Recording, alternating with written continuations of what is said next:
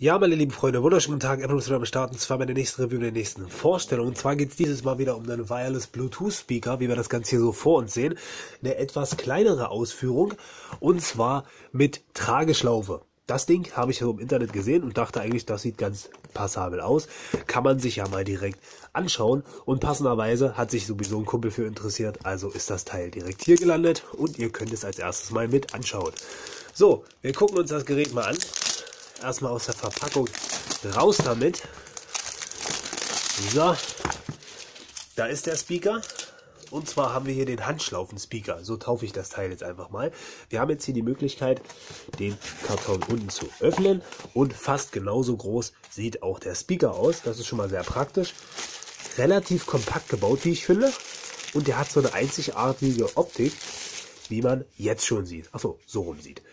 So, der hat hier nämlich einen Stoffbezug vorne drauf und ansonsten ist der hier so in einer ja, Metall, Edelstahl bzw. Alu-Optik gehalten, ist aber eigentlich Plastik. Also, ja, doch, es müsste alles Plastik, so wie das Ganze hier aussieht. Hinten haben wir dann gleich, wie man erkennen kann, einmal einen Micro-USB-Eingang, um das Ganze natürlich aufzuladen mit 5 Volt, wie hier drauf steht. Und dann haben wir noch den AUX-In mit 3,5 mm Klinkenstecker. Unten drunter ein Gummifuß, damit das Teil nicht umfällt. Der sieht trotzdem so dünn aus. Hoffentlich kann der durch den Bass statt, äh, ja, stattfinden, hätte ich fast gesagt, standhalten. So, Handtaschenspeaker an der Stelle. Neuer Name. Ja, vorne haben wir anscheinend eine LED-Leiste, so wie das Ganze aussieht, und Stereo-Lautsprecher. Unten ist nichts weiter. Da steht nur noch mal irgendwas drauf. Unwichtige Sachen. Dann haben wir jetzt hier oben den Ein- und Ausschalter. Ja, und dann gucken wir rein. Da müsste ja eigentlich auch das restliche Kabelgedöns dazu sein. Sei es jetzt AUX-In oder Micro-USB. Das ist ja ja auch... Wer macht das denn hier? Das gibt's doch gar nicht. Reißt ja hier den ganzen Karton fast auseinander. So. Oh, cool. Extra kleines Beuteltäschchen. Und da haben wir drinnen Natürlich, wie vorausgesagt, Micro-USB zum Aufladen und 3,5 mm Klinkenstecker, um das Ganze dann auch noch zum Hören zu benutzen. Weiterhin haben wir noch die Anleitung. Da schauen wir mal ganz kurz rein, um die technischen Daten nochmal durchzusehen. Da bin ich jetzt selber nochmal ganz gespannt. Ich glaube 5 oder 10 Watt müsste der gehabt haben.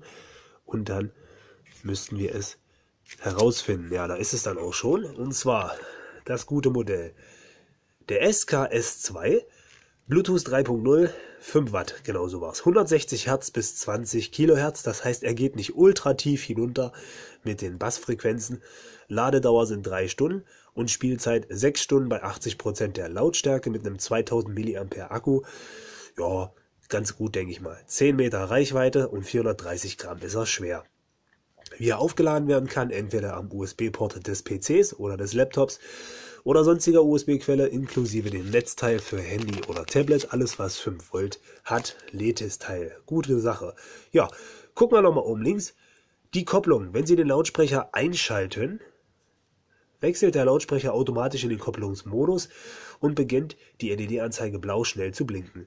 Also eigentlich nichts Besonderes. Dann unter Bluetooth AUK SKS2 auswählen und das Ganze geht von selbst. Wenn wir den AUX haben wollen, schließen Sie das Achso, schließen Sie das Kabel einfach nur an. Die Anzeige wird grün. Okay, mehr müssen wir gar nicht tun, siehst Kontroll-LEDs.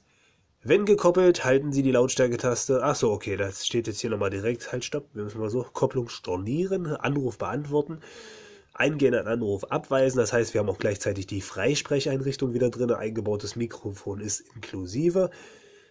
Hier nochmal unten die Status-LED, was alles so probiert, äh, was alles so probiert, was alles so funktioniert mit dem Gerät, beziehungsweise was er euch sagen möchte, wenn er blinkt. Das war's dann auch schon wieder. Da gehen wir direkt zur nächsten Sprache über und wir schauen uns das Teil an sich erstmal detailliert an.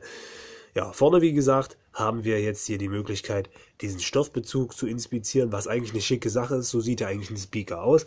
Oben drauf sind dann die normalen Tasten. Das heißt, wir halten jetzt hier gedrückt Ui, das ist ja laut. So, dann fängt er also lustig an zu blinken und wir können an der Stelle dann den Bluetooth-Mode auswählen und das Ganze dann, was ist denn jetzt schon wieder los? So, einmal anmachen und dann gucken wir mal, ob wir den sofort connected kriegen. Das müsste eigentlich ohne Probleme funktionieren. Gehen wir nach ganz unten, verfügbare Geräte. Da ist er. Was? Nee, das Grand S Lite, das ist meins. Dann ist er das da oben. Die Kryptoschrift. Das ist er dann also. Er will sich, ja, SKS2. Genauso sieht's aus. Dann koppelt er sich jetzt erstmal. Los. Ist ja immer schön mit den Tönen, wenn man das tagsüber verwendet, aber ich finde, wenn man die Töne nachts hat, beziehungsweise abends so, wo es dann nicht mehr ganz so viel Krach machen soll, wenn man ihn einschaltet, ist er blöd. Aber gut, kann man leider mal nicht deaktivieren bei den Lautsprechern, das ist halt ärgerlich, aber so ist es nun mal. Das heißt, wir schauen uns jetzt mal die No Copyright Sounds an. Kicken wir mal rein, was da los ist und wie die... Die haben 12 Millionen Abonnenten, Digga, was ist da los? Die gehen unheimlich steil. So, Lennart in Schrot. Das klingt sehr sympathisch, also los, Schrot. Wenn ich wüsste, was das für eine Musikrichtung ist, ich habe es mir nicht mehr angeguckt. Ich weiß auch nicht, was grün gerade bedeutet. Einfach mal hören, wie das Ding so läuft. Ja, klingt auf jeden Fall schon mal ganz klar, ne? So, Lautstärke. Passiert da was? Ah ja, gedrückt halt nicht. Immer drücken, dann kommt der Ton, wenn maximal Lautstärke erreicht ist.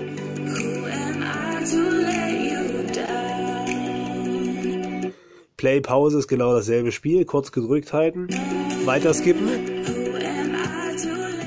Durch mehrfaches Drücken wird es wieder leise.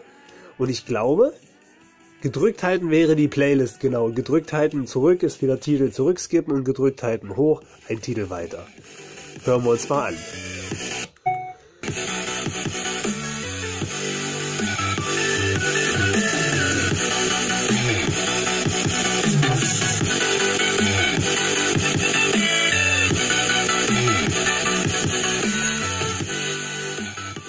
Also hier hört man sofort, wenn man den natürlich so auf fast voller Lautstärke hat, einen Balken, bevor es ganz laut ist und dann auf voller Lautstärke, er krisselt auf jeden Fall. Ich meine, es sind 5 Watt, irgendwo ist ja auch mal Schluss mit lustig. Und die Teile sind ja auch begrenzt von der Lautstärke her, wobei ich sagen muss, er hat einen eigentlich sehr ausgewogenen Klang, dafür, dass die Bässe jetzt nicht ultra tief sind, finde ich es ganz in Ordnung. Ihr könnt es ja einigermaßen durch das Mikrofon mithören, auch wenn es jetzt nicht optimal ist, so wie er sich in echt anhört. Aber er ist okay. Ich mache jetzt mal auf der Lautstärke, wo er okay klingt und wo jetzt nichts weiter passiert. Kein Krisseln und dergleichen.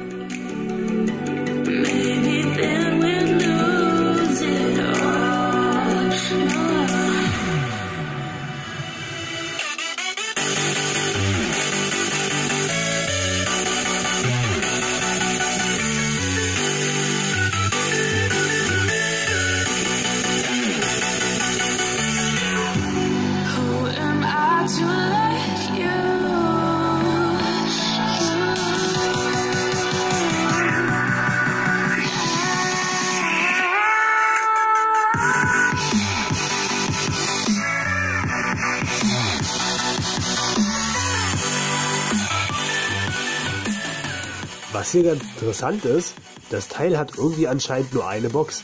Also hier auf der Seite ist Ruhe. Hier passiert nichts, keine Vibration. Das hat man eben bestimmt gehört, wo ich es zuhälte. Hier kommt der Ton raus und hier nicht. Das heißt, er wird eigentlich wirklich nur eine Box haben. Also einmal 5 Watt oder wie? Ich dachte, der meinte das jetzt hier, dass wir 5 Watt dann wenigstens auch mal zwei Lautsprecher haben. Ich meine, der Unterschied ist jetzt ja nicht da. Schauen wir mal ganz kurz rein, was hier so nochmal steht. Wir haben jetzt hier die 6 Stunden Angabe, das ist klar. Wir haben hier Lautsprecherausgangsleistung 5 Watt. Ja, das steht. Aber es heißt jetzt nicht auf wie viel Lautsprecher. Aber höchstwahrscheinlich, man sieht es auch leider nicht richtig. Es ist hier überall hinter dem Stoff. Sieht man das so durchglitzern. Ist auf jeden Fall, ja, wie so ein Metallgitternetz. Aber hier kommt der Ton raus. Dann wird das also einmal 5 Watt sein, also wenn ich das richtig verstanden habe. So, das heißt, wir schauen trotzdem mal in die Playlist rein. Jetzt bin ich mal gespannt hier. Halt, Stopp, jetzt habe ich schon irgendwas gedrückt, da wollte ich auch gar nicht hin. So. Also Trap eben wird das gewesen sein mit grün.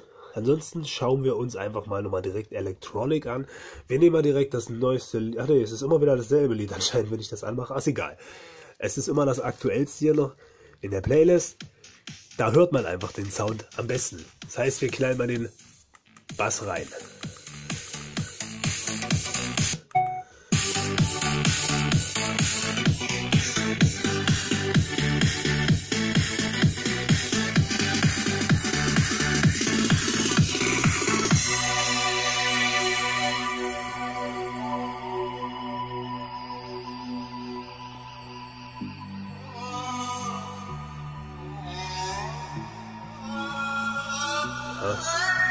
Kommt wirklich nur von der einen Seite.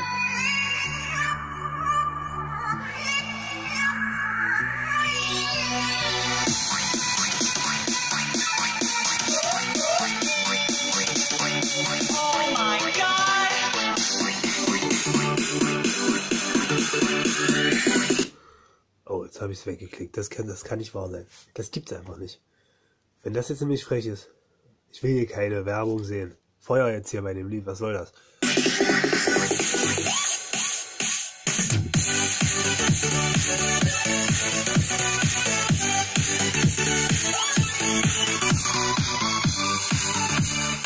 Also, ich muss sagen, für 5 Watt muss ich sagen, also wirklich nur 5 Watt ein Lautsprecher klingt das Teil echt gut.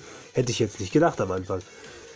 Das ist wirklich nicht schlecht. Das heißt, wir gucken jetzt mal in die andere Musikrichtung rein. Wir nehmen als Spaß mal gleich, äh, wir nehmen einfach mal Melodic Dubstep. Schauen wir mal rein, wie das hier so klingt. Weil meistens sind die Unterschiede dann erst hörbar. Aber wenn er schon einen guten Bass bildet, warum nicht? Wenn er die hohen Töne auch noch kriegt, ist doch das gut. Kling.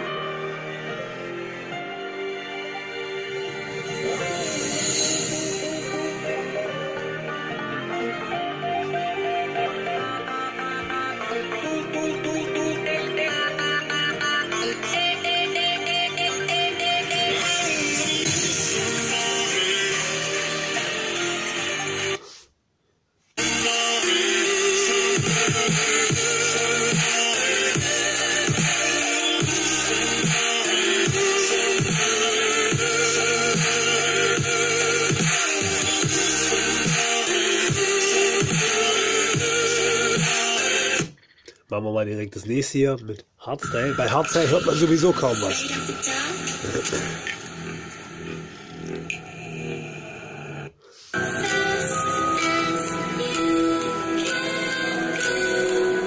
Also die hohen Töne sind auf jeden Fall gut. Schön klar.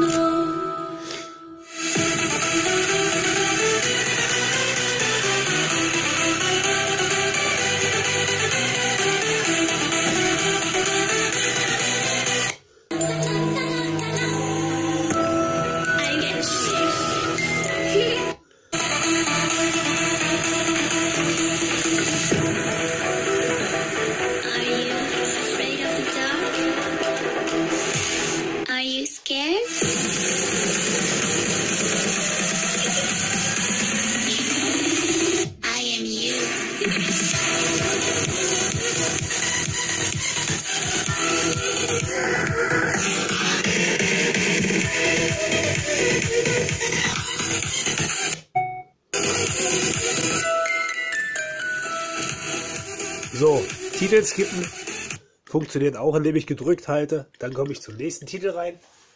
Also wirklich ideal. Aber wie gesagt, also bei 5 Watt hört es schon irgendwo auf. Es ist auf jeden Fall hörbar. Aber so richtig Hardstyle kann man damit natürlich nicht hören. Das ist ja klar. Das sollte jedem vernünftigen Menschen eigentlich bewusst sein. So, als letztes, achso, jetzt bin ich direkt zurückgegangen. Als letztes schauen wir nochmal direkt rein und dann denke ich mal, sind wir soweit eigentlich erstmal gut versorgt gewesen, so mit ein paar Hörproben bei Indie Dance. Wie klingt das Ganze denn so? Wir skippen auch direkt mal hier in der Mitte rein. Ja, genau. Am besten, wie wäre es erstmal mit einer Oma, die sich erstmal das Gewiss einsetzt. Dann viel Spaß, ne? Ja, das wünsche ich dir auch. Tschüss, mach's gut. So, direkt mal reingeskippt hier bei Indie Dance, wie das Ganze so klingt. Dann haben wir, denke ich mal, alles durch.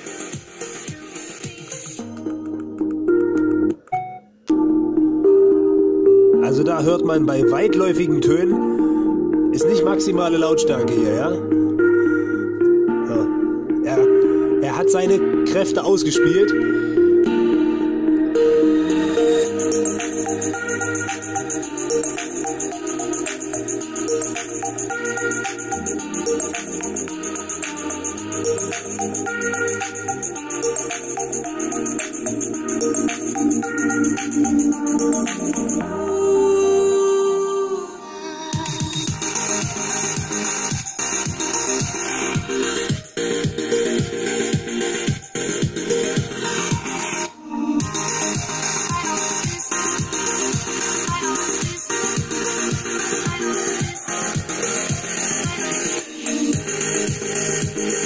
Da hört man's. Je weitläufiger und großvoluminöser die Töne werden, da kommt der kleine Membranlautsprecher an seine Grenzen. Das heißt, wenn die Töne so in, in dieses große, hallige reinkommen, wie es eben war, also da fängt es schon lang, leicht an zu kratzen. Das hört man sofort raus. Das ist aber ganz normal. Das schafft einfach die Membrane nicht. Die ist einfach nicht groß genug dafür und kann auch nicht genügend schwingen, ohne gleichzeitig bei den hohen Tönen Kratzer herauszuholen, weil es einfach nicht mehr drinne ist. So, letztes jetzt, was wir hier noch machen können. Trap hatten wir ja auch schon, Dubstep. Wir machen einfach mal Haus an, irgendwie direkt.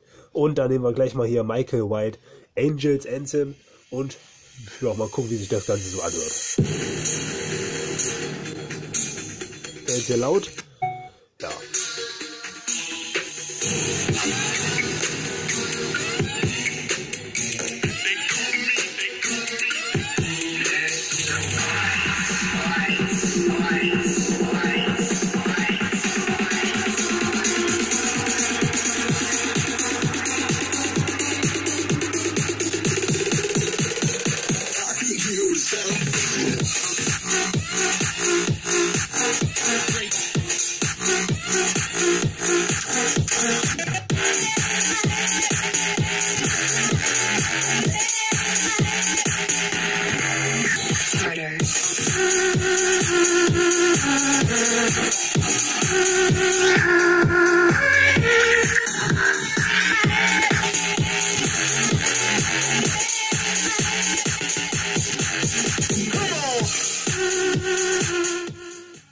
Also ich denke mal, wie man unschwer hören kann, er ist auf jeden Fall leistungsstarker Lautsprecher für die Preis-Leistung, die man hier bekommt, denke ich mal ganz in Ordnung.